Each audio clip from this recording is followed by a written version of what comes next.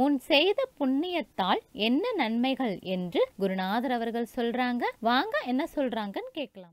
மிகப்பெரிய ஒரு தந்திர ஒரு ரகசியம். வாசி நடத்தி தருவது மட்டுமல்லாது ஆசான உள்ளே இருப்பான். புண்ணியம் முன் செய்த புண்ணியத்தால் இந்த வாய்ப்பு கிடைத்து தங்கி இருப்பான். அவனுடைய நிர்வாகத்தை அந்த சங்கத்தில் எல்லாம் பண்புள்ள மக்கள் தான் வருவார்கள். பண்புலாதும் இருக்கவே முடியாது. ஏன்னா இப்படி புண்ணியம் பல ஞானிகள் தொண்டு செய்த மக்கள் இருப்பார்கள். அவரையெல்லாம் ஒன்றுபடுத்தி விடுவான். ஒன்றுபடுத்தி ஒரு அறப்பணி சிறந்த அற தர்மகாரியம் நடக்குங்க அங்கே எல்லாரும் தூய மனசோடு இருப்பார்கள். யாருக்கு யாரும் அங்கே பொறாமை இருக்காது வஞ்சனை இருக்காது. தூய மனசோடு இருப்பார்.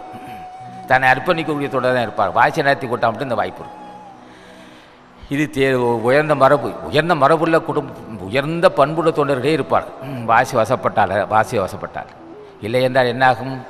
வஞ்சகம் நடக்கும் அங்கே. எது பார்த்தாலும் மராச்சகம் தலைவனும் தூய மனசு இருக்காது வாசி வசப்பட்டால் தூய மனசு இருக்கத்தான் செய்யும். தன்னை அர்ப்பணிக்கூடியவனாக இருப்பான். ஏன்னா அவன் தலைவன் ஆசி பெற்ற. முன் செய்த நல்வினை இருக்குது முன் செய்த நல்வினை காரணமாக எல்லாமே தன்னை அர்ப்பணிக்கக்கூடிய பண்பு இருக்கும். தன்னை அர்ப்பணிக்கக்கூடிய தொண்டன் சேர்த்திருப்பான். மற்ற இடத்தில் எல்லா பொய்யும் புரட்டும் வஞ்சனை தான் ஒரு நூறு மூட்டை அடிச்சிருந்தால் இப்படி எடுத்து காணா போகும். சாக்கூட இருக்காது. அந்த அளவுக்கு கேடுகள் நடக்குங்க. ஏன்னா தலைவனும் சரியில்லை. அங்கே சங்கமாக அசிங்கமாக இருக்குது எல்லாம் அவ்வளவு ஈனத்தனமாக இருப்போம் ஒரு இடத்துல இருக்கலாம். அங்கே பொய் கணக்கு. நூறு மூட்டை அரிசி வாங்கினாக்கா ஐம்பது மூட்டை வாங்கியிருப்பான். மிச்சம் நூறு பொய் கணக்கு எழுதியிருப்பான். அவன் பத்து மூட்டை சமைச்சிருப்பான் மூணு மூட்டையோட போட மாட்டான். அது ச- சங்கமெல்லாம் நூ ஒரு சில சங்கத்தை தரும் மித்த எல்லாமே பொய். ஏன்னா தலைவன் பொருளாதாரப்பட்டு உள்ளவனாக இருப்பான் காமகுணாக இருப்பான் ஜாதி வெறியனாக இருப்பான் மதவெறியனாக இருப்பான். அப்பேற்பட்ட ஒரு கேடு கேடு அது அது போன்ற கே கொனைக்கேடு உள்ளவனுக்கு எப்படி இருப்பான்? எல்லாம் அராஜகவாதி சூழ்ந்துக்கிட்டு நாடை கெட்டு போகும் ஆன்மீக என்ற பேரில் நாட்டை கெடுக்கக்கூடியது. ஆக இங்கே என்ன சொல்கிறான் உயர் தான் சொல்கிறான் குடி பிறந்து குற்றத்தினிக்கு வடுப்பொறிய நானுடையான் கட்டை கட்டு பழிக்கு அஞ்சுகின்ற பழிக்கு நாணுகின்றவனாக இருந்து தேர்ந்தெடுக்குன்னு சொல்லுவான். ஆக இந்த இங்கே பேச்சுக்கே இடமில்லை அகத்திய சன்மாத சங்கத்தில் பேச்சுக்கு இடமில்லை நாங்கள் தேர்ந்தெடுக்க வேண்டிய அவசியமே இல்லை.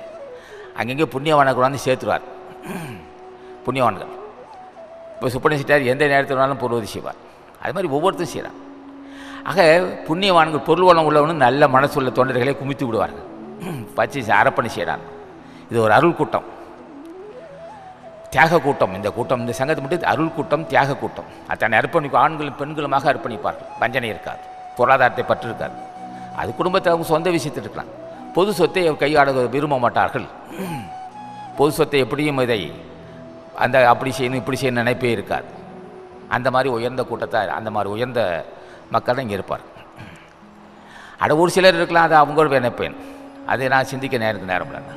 இருக்கலாம் இங்கே இல்லை இருக்க வாய்ப்பு இல்லை. அப்போ பண்புல உயர்ந்த மக்கள் தான் இருக்கிறார்கள்.